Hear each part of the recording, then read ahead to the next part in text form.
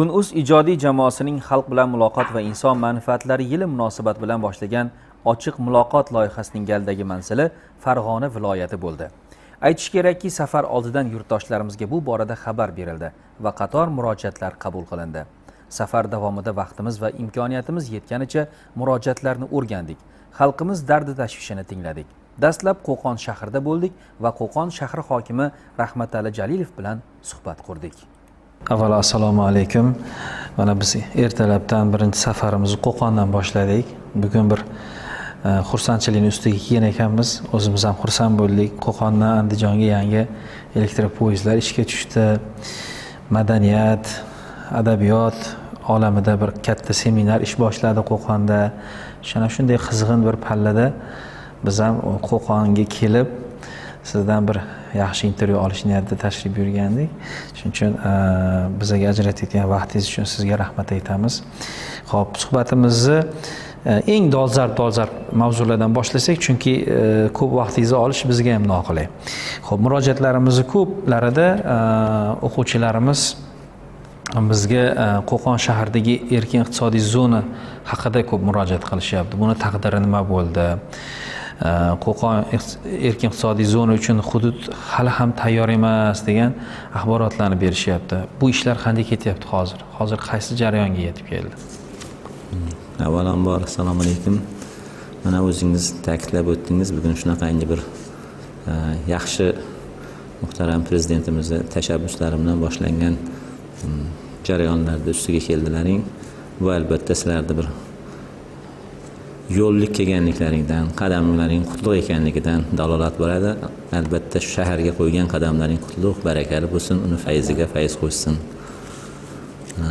Nimaga savolga kelsak bugungi kunda endi bu erkin iqtisodiy hudud uch qismga bo'lingan. Ikki qismi bu demak e, uch uchko'prik tumani hududida lekin u qo'qon erkin iqtisodiy hududi deb ataladi. Bir hudud shahar ichida belgilangan. Endi shahar ichida belgilangani bu yirik o'sha sobiq ittifoq davridagi korxonalarni hududlari belgilangan. U yerga shu chet el investitsiyalarini olib kirib uning imkoniyatlaridan yanada to'liqroq foydalanish maqsadida investorlarni jalb qilish maqsadida shu hududlar tanlangan. Bugungi kunda shu jarayonlar boshlangan.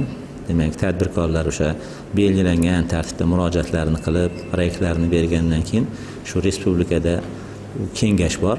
Kengash ko'rib chiqib ma'qullagandan keyin yer ajratish va ularga ruxsat berish qurilish qilish uchun e, investitsiyalarni kiritish tartib belgilangan.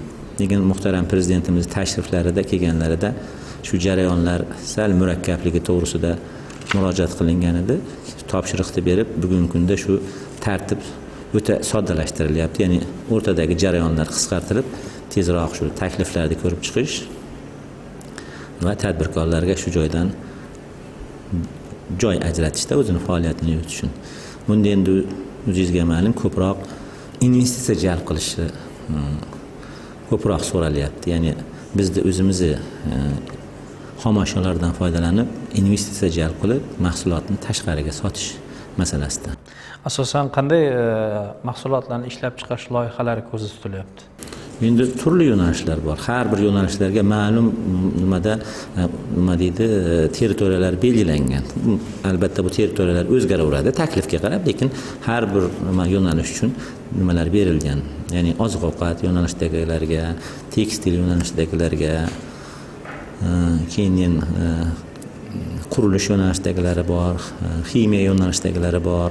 Yo'nalishlar bo'yicha hududlar belgilangan. Chunki bu hududlarda oziq ovqatni misol uchun ximiyaga aralashtirib yuborib bo'lmaydi. Shuning uchun o'zini tartibi bo'yicha hududlar belgilangan.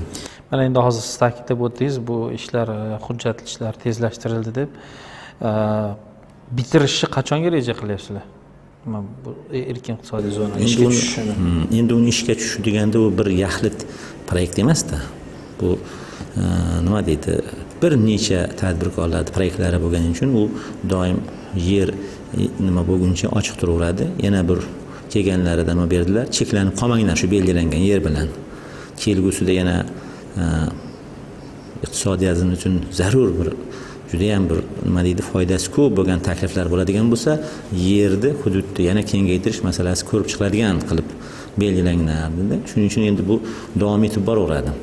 Davom etib boraveradi. Mana biz qo'qon shahriga kelib e, ma'lum bir muddat aylanib yurdik qo'qonda. Qo'qon avvalgidek so'lim emas. Endi buni sababi obodonlashtirish ishlari jarayonlarida juda ko'plab daraxtlar kesilgan.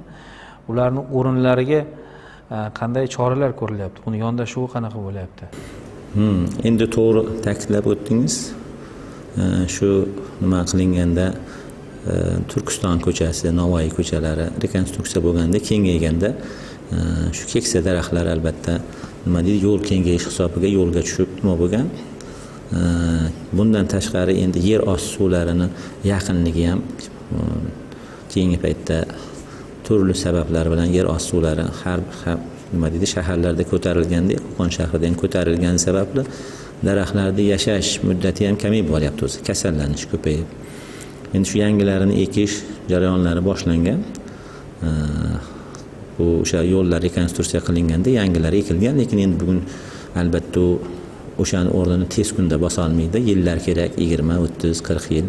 Chunki bugun ko'rib turgan daraxtlarimizni yoshi shu o'ttizdan balandda endi o'ttiz ellik yoshdagi.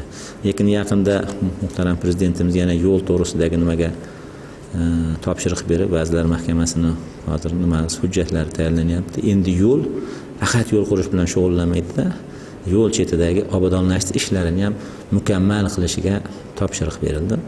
Endi bu yo'lni qo'shib daraxt ekamiz uni sug'orishini nima qilamiz? Bir yo'la. Va uni maysasini hammasini loyiha bilan o'sha pul bilan mukammal bajarib ketadigan darajaga yetkazdik. Qo'qon e, ma'lumki aholisi zich joylashgan e, shaharlar e, toifasiga kiradi. Ayniqsa bu shaharda yoshlarni ko'p ko'pchiligi e, yoshlarni tashkil etadi aholini ko'p qismini. Shundan kelib chiqib qo'qon shahrida yoshlarni ish bilan ta'minlash masalasiga to'xtalib o'tsangiz. Hmm. endi bu masala aytganingizdek dolzarb masala ayniqsa bu qo'qon uchun. E, hudud hmm, kichkina lekin aholi ko'p. E, o'sish tezligi baland. Shu sababli endi mana qo'qonda bir imkoniyat bor. Odamlar judayam tadbirkor. Bu butun respublikaga ma'lum. Hmm, shu shu xususiyatidan insonlarni shu yaxshi xislatidan foydalanib o'zlari bilan birgalikda o'zlariga ish o'rinlari yaratish dasturini qilganmiz. Bu dasturimiz bugun tayyor. Vazirlar mahkamasida hozir ko'rib chiqilib yaqin kunlarda qo'l qo'yiladi. Shu joyda biz mavjud kichik korxonalarni rivojlantirish hisobiga ish joylari yaratish Hmm, keyin ularni kengaytirish hisobiga yaratish yangilarini ochish e, hisobiga bir hmm, sakkiz mingdan oshiq ish o'rni yaratish uch yillik dastur qilganmiz. Bu yerda sanoat bor и xizmat ko'rsatish bor. Necha foiz qamrab oladi shunda yoshlar. Qamrab olish darajasi shu saksondan yuqori bo'ladi. Saksondan yuqori bo'ladi. Bundan tashqari endi bu qurilish bu dasturlar jarayonida qurilish juda katta qurilish ishlari olib boriladi. Bunda ham e, albatta bandlik keskin oshadi. E, qurilish tashkilotlari orqali bandlik oshadi. Yana bir narsa e, ta'kidlab o'tganingizdek aholini o'sish darajasi ham qo'qonda ancha baland. O'z o'zidan bu uylarga bo'lgan ehtiyojni keltirib chiqaradi. Hozirgi kunda xabaringiz bor mamlakatimizda arzon uylarni qurilishiga alohida ahamiyat berilyapti. Qo'qonda bu jarayon qanday kechmoqda? Hmm. Hmm. Albatta bu savolingiz juda o'rinli. Qo'qon shahri uchun qo'qon shahrida yer juda yam tanqis hisoblanadi. Hmm. Shuning uchun uyga ehtiyoj juda katta. Bu albatta ipotechniy kreditga uylar qurilib kelgan. Hozir ham bugun yuzta uy qurilishi davom etyapti. Turli nimada? Bosqichlarda ketyapti. Qaysidir biriga yer ajratilgan qaysidir biri bityapti. Mana shunday jarayonda ketyapti. Lekin buni olish uchun mana bu ijtimoiy mm, himoyada turgan oilalarga yosh oilalarga ozgina murakkablik tug'diradi olish moliyaviy jihatdan. Shuning uchun endi mana prezidentimiz o'sha ijtimoiy himoyada turgan oilalarga yosh oilalarga olish uchun o'sha sotsial uylar deb atadik. Shu termini shu uylar qurilishi belgilangandan keyin qo'qon shahriga ham beshta uy qurish belgilangan ekan. Lekin biz shu ehtiyojni o'rgangandan keyin mana bu virtual qabulxonaga xalq qabulxonasiga kelgan murojaatlarda o'rganib ularni to'plaganimizda bu ehtiyoj kattaligini bilib hukumatga o'sha murojaat qilib dasturimizga yigirma beshtaga chiqarishni so'rab shuni ruxsatini olganmiz. Endi bizda beshta emas yigirma beshta quriladi bu sotsial uylar. Bu yil ikkitasi boshlanib kelgusi yilda beshta bitishi kerak. Ya'ni hajmi besh karra oshdi desak bo'ladi bu ehtiyojdan kelib chiqib. O'rta miyona oilalar uchun quriladigan uylar ham uch yilga yuzdan oshiq qilib belgilandi. Bu siz aytgandek o'sha erkin iqtisodiy hududda ish joylari yaratilishi munosabati bilan shu hududga yaqin bo'lgan muqimiy posyolkamiz bor. Shu posyolkada ham ko'p qavatli uylarni qo'yib ularga sharoit yaratib ya'ni ish joyiga yaqinroq joyda uy bilan ta'minlash masalasini ham o'sha dasturimizda nazarda tutib kiritganmiz. Mana hozirgi kunda biz e, aholi bilan juda ko'p bevosita ishlash jarayonida shundan guvohi bo'lyapmiz. E, o'tgan yillar davomida qurilgan namunaviy uy joylardan juda ko'p shikoyatlar tushyapti. Э, qo'qon shahrida ham э, bu bo'yicha shikoyatlar o'rganilishi qay darajada ketyapti? Chunki e, endi bu o'tgan davrda o'sha pudratchi buyurtmachi o'rtasidagi e, tushunmovchilik deymizmi yoki ishga mas'uliyatsizlik deymizmi shu nuqtai nazardan kelib chiqqan kamchiliklar haligacha davom etib kelyapti va bu har bitta hududga e, tegishli bo'lyapti. Shu nuqtai nazardan so'rayapmanki buni o'rganilish darajasi buni yechimlari qanday ketyapti? Hmm. Endi namunaviy uylar o'zingizga ma'lum ko'proq bu rayonlarda bo'lib kelgan. Bu endi sotsial uylar shu ikki ming o'n yettinchi yilda markaziy shaharlarda belgilangan butun viloyatlarda markaziy shaharlarida istisno tariqasida endi biz qo'qonga mana bu yil ikkita kelgusi yil uchta deb oldinlatib berishdi. Qo'qon shahridagi shu talabdan kelib chiqib Hmm. shuning uchun bu namunaviy uylar e, shaharda hozir endi boshlanadi. Lekin mana bu qurilayotgan ipoteka krediti asosida qurilayotgan uylarda aytganingizdek shunday nimalar bor. Bu ko'proq uni uy atrofidagi e, nima deb ataymiz e, sharoit yaratishda bolalar maydonchasi yaratishda ayvonchalar qo'yishda uni daraxtzor qilishda maysazor qilishda ularni sug'orib turadigan suv tizimini yaratishda e, moshinalarga turadigan to'xtash joylari qilishda mana shunday nimalar bor. Bularni endi hozir loyihaga kiritib shu uy bilan birgalikda e, topshirish shartlarini pudratchilarga qo'yib e, bajartirish usulini qilyapmizda. Ko'zda tutib jarayonda olib boryapmiz endi. Shunday talab qo'yyapmiz. Yaxshi E, yana bitta savolimiz e, yo'l harakati tartibi bilan bog'liq yo'l bilan bog'liq e, mavzu. Qo'qon shahri va atrof hududlarida yo'l harakatini tartibga deylik o'sha talab darajasida tartibga solinmaganligidan murojaatlar kelib tushadi. Hattoki yo'l harakatlanish uchun chiziqlar ham tortilmagan joylar bor degan ma'lumotlar bizga yetib kelib turadi. Bu ishlarni nazorati qanday ketyapti? Albatta bu sizga qilgan murojaatlar asosli. Shunday holatlar bor. Endi bu nimalarda mana keyingi bir paytda e, keyingi mana shu uch oyda endi ko'p e, ish olib bordik yo'llarni ta'mirlashda. Bu endi albatta o'zingiz bilasiz mablag' bilan bog'liq. Bu mablag' markazlashgan holda bo'ladi. E, asosiy yo'llarimiz katta yo'llarimiz hozir ta'mirda turibdi o'zi. O'tgan yildan buyon va kelgusi uch yil davomida ta'mirda bo'ladi. Bu shaharda aylanma yo'li uni e, kesib g'arbdan sharqqa kesib o'tadigan yo'llari va dasturimizda ham mana shu e, besh yillik yo'l holatini hisobga olib transportni oqimini hisobga olib bugungi kundagi transportdagi e, murakkabliklarni hisobga olib shunday dastur qilganmiz. Va siz aytgan bu chiziqlar boshqalariga ham shu e'tibor berib mana shu murojaatlar xalq qabulxonasiga virtual qabulxonaga tushgandan keyin e, bir ikki oy ichida buni ancha tartibga keltirdik. Bugun bir oz bo'lsada kamchiliklar bartaraf qilindi. Lekin bu borada baribir ish olib boryapmiz. Ichki ko'chalarimiz bor. Ichki ko'chalarda endi mana murojaat qilib o'sha e, muhtaram prezidentimiz hukumat komissiyasini qilib jo'natganlarida ishlab bu yil o'n milliard so'mlik ichki ko'chalarni qilishimiz kerak. Bu yuzdan ortiq ko'cha bo'ladi. Bugungi kunda bir ellikdan ortig'ini ichki ko'chalarda e, ta'mirlashni boshladik. Shu mahallalarda ichki ko'chalarni ta'mirlashga ham o'tyapmiz. Mahallani ichidagi ko'chalar bu ilgari hech ham qilinmagan.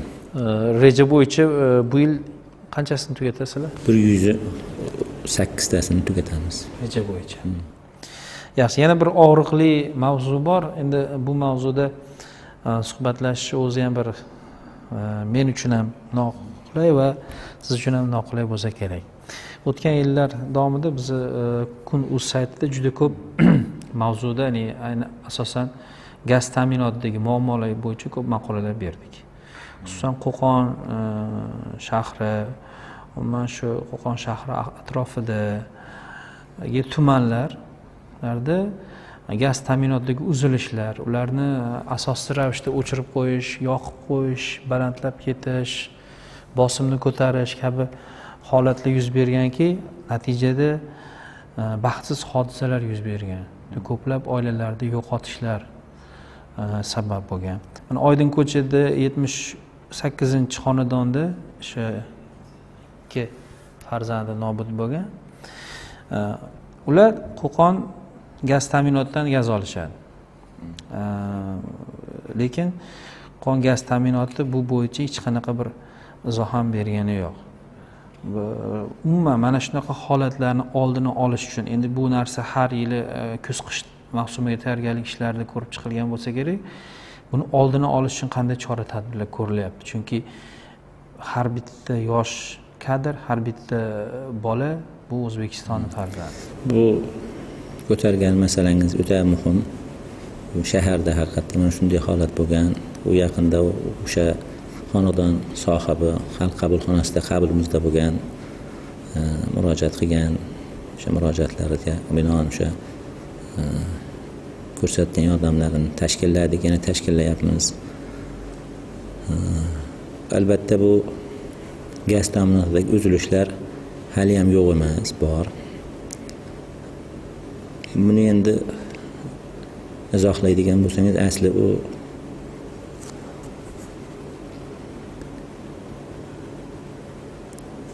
yillar davomida gaz ta'minotida gazlashtirishda yo'l qo'yilgan kamchiliklar bo'lganda endi shular bir to'planib kelib endi o'zini salbiy natijalarini bera boshladida bitta bitta qilingan ishlar oxiri kelib mana bittasi bu nima deydi? Bular halqa qilgan. Ya'ni shaharda e, gazni halqa usulida ya'ni butun shaharni bir biriga bog'lab qo'yganda qayerga gaz bersangiz boshqa joyda ham bir xil bo'lishi uchun degan nimada ish tutishgan. Lekin hozirga kelib bular mutaxassislari bu noto'g'ri ekan. Deb buni halqa emas boshi berk ya'ni bir tarafga boradida oxiri yopiq bo'ladi. Shu usulda berish maqsadga muvofiq ekan deb shu usulga moslashyapti. Endi shu o'sha yuqorida aytganimdek o'sha hukumat komissiyasi qo'qonda ishlagan muammolar bo'yicha shu men yangi hokim bo'lib kelganda birga kelib ishlab dastur tuzganmiz gaz bo'yicha to'qson uch milliardlik uch yilga.